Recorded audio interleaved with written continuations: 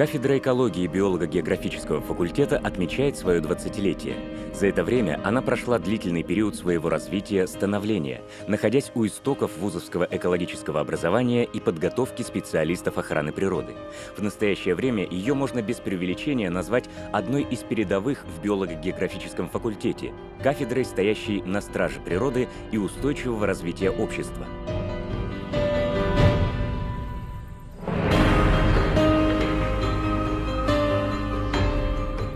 Кафедра экологии имеет огромное значение, потому что ее деятельность связана с направлением науки и практики воистину безграничным.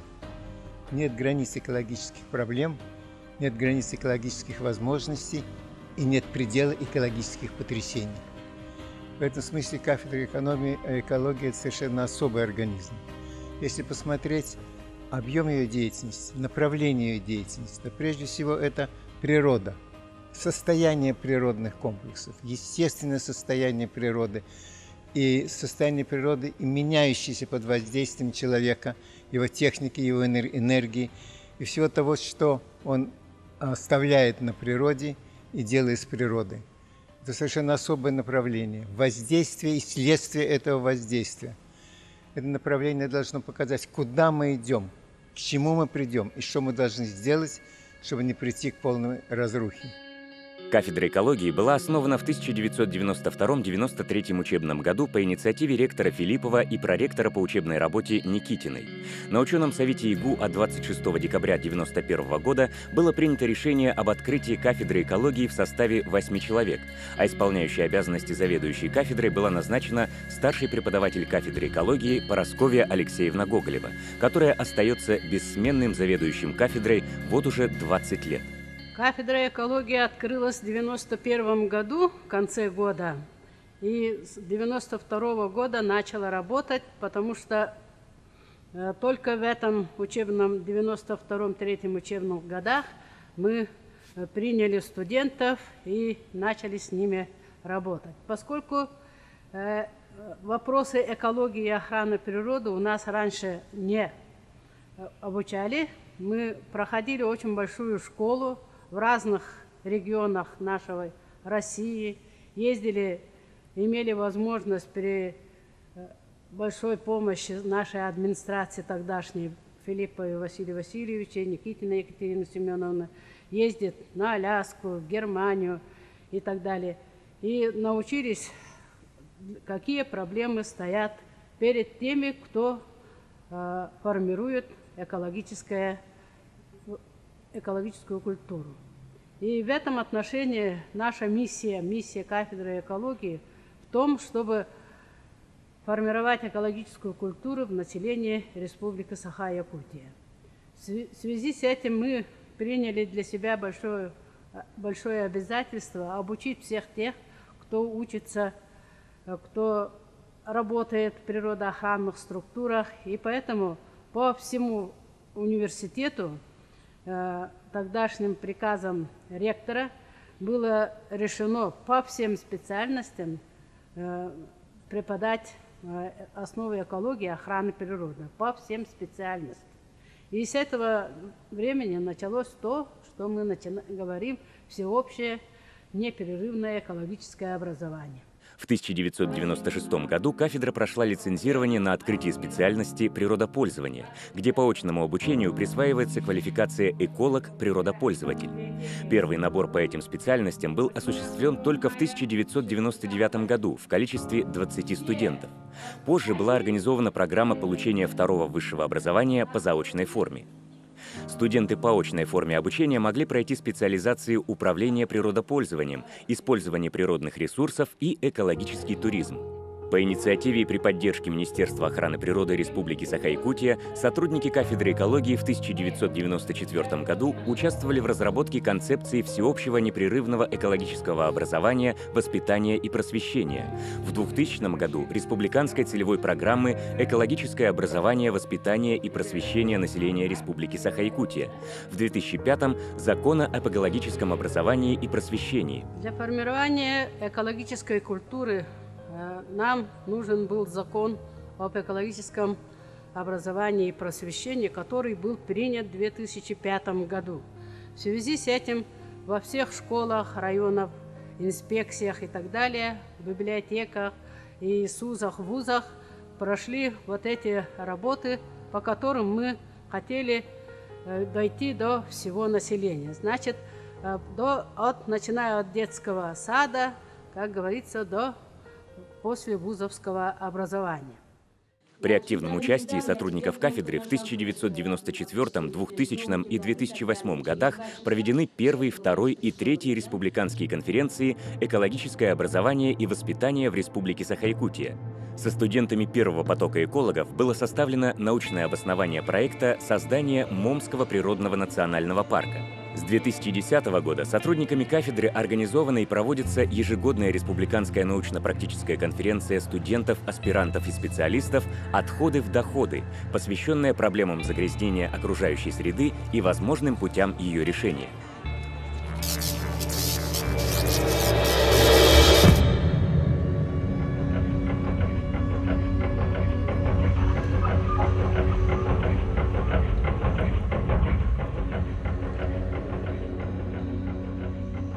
Сотрудники кафедры читают природоохранные и экологические дисциплины во многих факультетах и институтах Северо-Восточного федерального университета.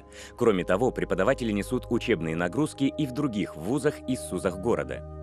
Сотрудники кафедры участвовали в зарубежных конференциях и симпозиумах в Анкоридже и Фербингсе, штата Аляска, в городе Девинпорте, штата Айова, в городе Майами, Соединенных Штатов Америки, в Байоле, Франция, в Уолу, Финляндия, в Берлине, Аурихе, Потсдаме, Грейсвальде, Германия, в Оксфорде, Великобритания, в Хургаде, Египет и других. Проходили курсы по повышению квалификации в Москве, Санкт-Петербурге, Новосибирске, Томске, Уфе, Казани и других центральных высших учебных заведениях и научно-исследовательских институтах. При кафедре функционируют четыре лаборатории. Лаборатория геоботаники, лаборатория геоэкологического мониторинга, лаборатория экологических технологий и рационального природопользования «Экотехнополис», а также совместная российско-германская лаборатория по изучению экологического состояния Арктики «БиоМ», при кафедре организована и функционирует библиотека и видеотека, ставшая хорошей научно-методической базой преподавателям. Некоторые занятия удается проводить с помощью видеофильмов, а самостоятельные работы студентам давать на основе той литературы, которая есть в кафедральной библиотеке. Новые лаборатории открыли в этом году. Э, российско-немецкую лабораторию. Лаборатория называется «Биом», но она немножко по изучению экологического состояния Арктики, да, то есть это тоже научное направление э, нашей лабора... Э, кафедры.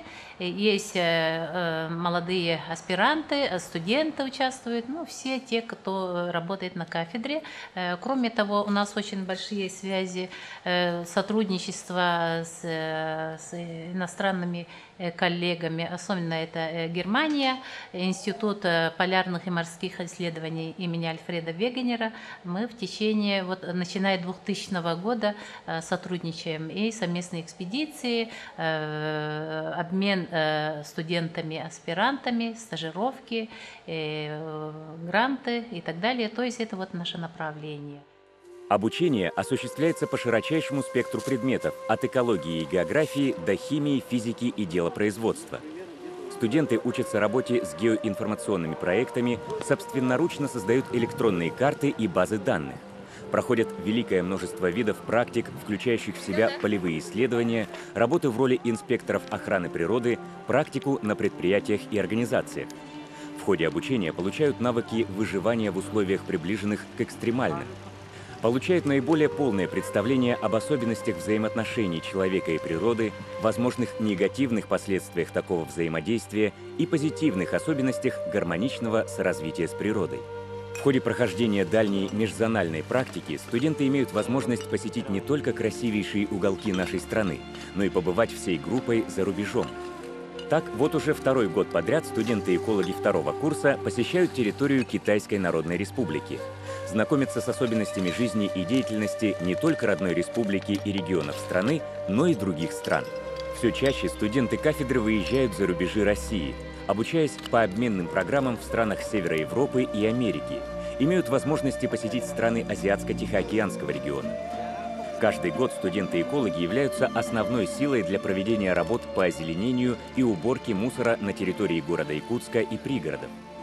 Постоянно проводятся встречи студентов со специалистами и выпускниками кафедры.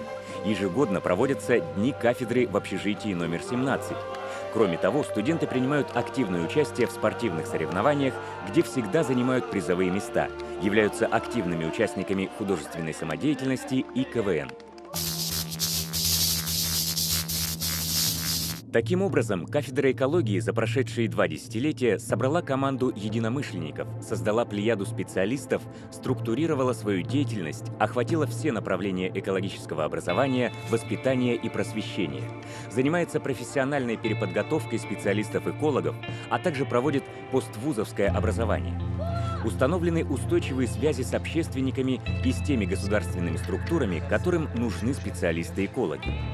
Кафедра продолжает работу по совершенствованию учебного процесса, по трудоустройству выпускников, обеспечению системы экологического образования и воспитания в Республике Саха-Якутия учебно-методическими комплексами, обеспечиванию населения оперативной, достоверной экологической информацией. Ведется работа по совершенствованию материальной базы кафедры, обеспечению студентов новым поколением учебников и учебных пособий.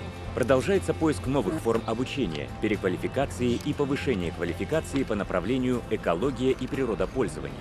Разрабатываются такие перспективные направления, как создание и использование экологически ориентированных технологий, Осуществляется работа по решению проблем обращения с твердыми отходами, изучению экологического состояния территории криолитозоны и Арктики. Выпускники кафедры востребованы в различных отраслях экономики, от производств и добычи до сфер обслуживания, преподавания и работе в государственных структурах.